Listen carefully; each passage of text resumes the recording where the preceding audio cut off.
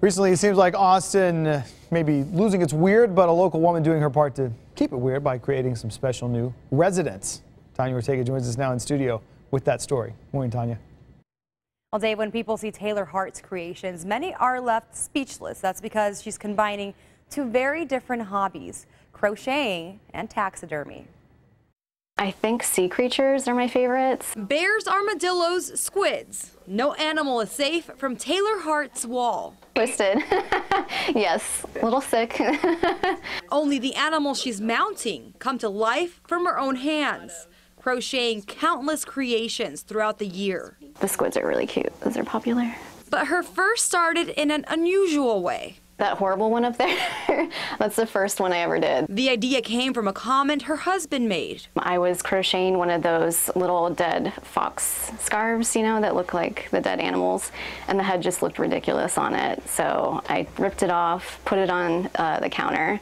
He comes home and he's like, babe, you should mount this. So thus it was born.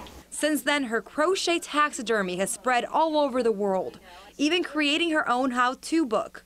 Most of her fans are moms who are buying them for their children's rooms, others buying them as gag gifts. Yes, they are a little bizarre, but for the most part, Taylor gets positive comments about her unique wall decorations. Usually they laugh. Normally I get good reactions, but um, some people are a little appalled sometimes, but for the most part, it's people like it. It makes them happy, and I see a lot of smiles. Each animal is different. Some taking about 30 minutes to complete, others taking all day. They have different eyelids. Some of them are really sad. Sea creatures are next on the menu. I definitely see myself expanding on that just because that's extra weird. But who knows what will come to Taylor's mind next? I have dreams sometimes where I'm crocheting.